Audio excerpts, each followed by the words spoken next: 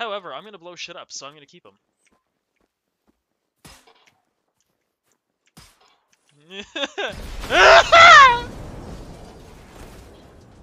Why? Why would you do this? Can you are, are you able to pick me up, or do I need to use my adrenaline?